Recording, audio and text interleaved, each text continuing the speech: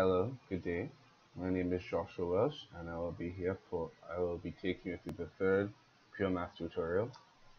Today we're starting on proofs. So there are there are three types of proofs.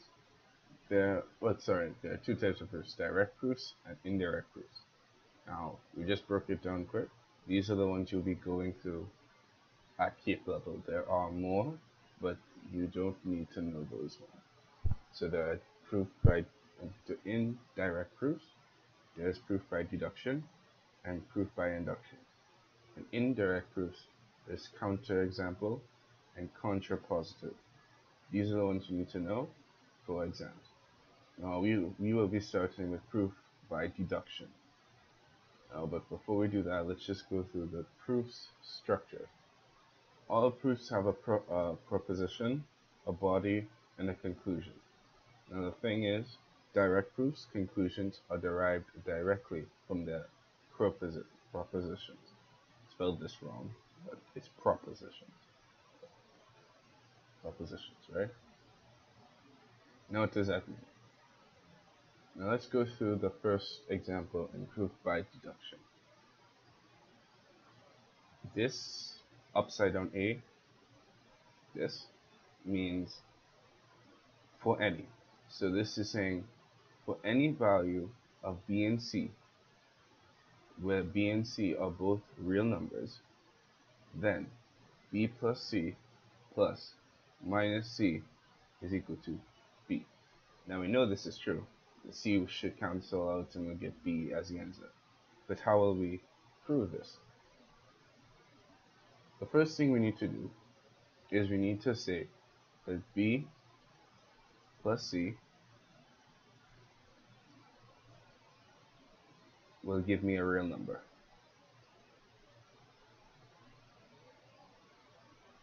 And that there exists, remember this from the axioms, so this is a closure property we just showed here, and then this is now the, um, what is this, the inverse, the ad inverse I believe, so that there exists a number called negative c which is also a real number. Sorry about this, it's kind of hard to use a mouse to do this. Anyways. So now we're saying that b plus c plus c my plus minus c does in fact give me a real number. So all of this, we haven't even reached like actually proving it yet. All we're saying now is that this is a real number, this is a real number. So the whole the whole equation will give me a real number, which we know to be true because well not that we know it to be true, we do know it's true, but we know at the beginning they say b is a real number, so this whole equation must be equal to b, b which is a real number. So we're just making sure that it's correct. We're explaining that it is true. Next, we have to use the associative rule, the associative law. So remember how the associative law induced the brackets. Now we're going to change how the brackets look, and we're going to say b plus bracket c plus minus c close brackets is the new equation. So this is the first actual step in this in our proof. We're treating this. Now, some people might be getting confused because you're saying, wait, but the associative law didn't use two brackets. The associative law didn't have two brackets in it. It just had this. It just had one pair of brackets. And how can we use it with these? With now four. With now two pairs. What treat this? This negative x bracket as just negative c. So like we use the brackets because we don't want the plus and negative right next to each other because that might get confusing because you will just your brain will automatically should automatically say well a plus right next to a minus will give you a minus but that's not that's getting ahead of yourself here so what we do is we put it in brackets and we treat it as a, as a number.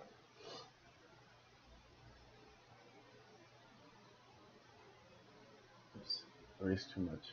So this could also be read as another way to write this is b plus c bracket plus minus c, which looks a bit closer to the associative law.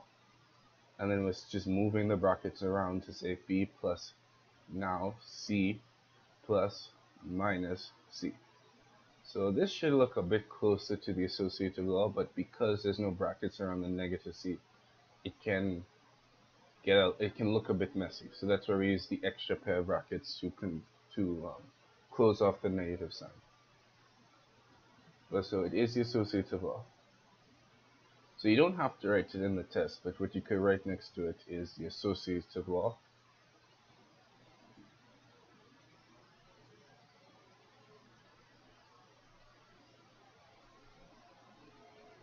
Yeah, so associative law. That's what we used here. Then we use the add, add identity because we know that this will give us 0. So what we're saying now is the identity, oh, wrong pen, color. The identity is saying b plus 0 will give me p.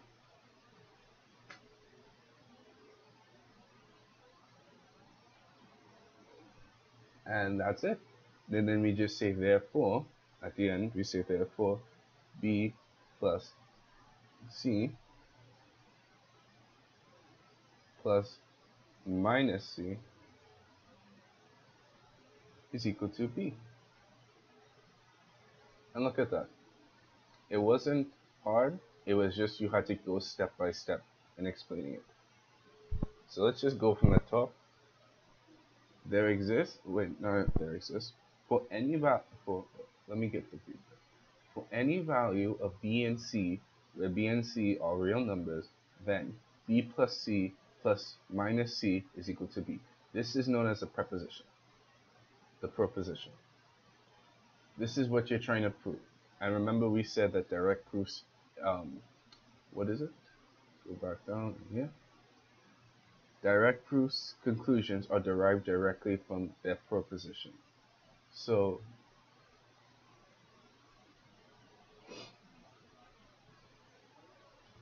this is a this is a proposition. So this is how we're going to direct. This is how we're going to prove that this is true or not. First thing we do is we have to check and see if they're real. We're not check and see if they're real. We have to say that they're real, that they're going to give me a real number. So this is a closure. This is closure, and this is the add inverse here. Add inverse. We're just saying that that b plus c is will give me a real number, and then there exists the number negative c, which also will give me a real number. And then we put it all together in a, in a, in a simple line. So we could start doing the other, using the other rules. So now that we have b plus c is a real and there exists the number negative c which is real, we say b plus c plus minus c is a real number. After that, we go using the associative law. We say, okay, let's move the brackets around so we have b plus c plus minus c close brackets. This will give me 0. So what we'll end up with is b plus c, b plus 0 is equal to b. And then we just, and that's it. Then we have to just end with b.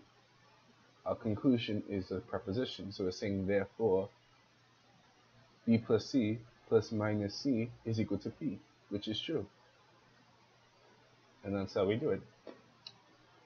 It seems pretty straightforward, so but let me just give you one.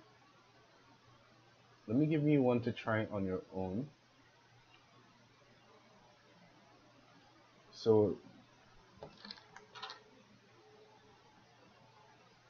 if you think this is pretty straightforward and you think you understand it pretty well. There's there's this question you could try. Um, you just put a number two, put this in green. For any value of u, where u is a real number, then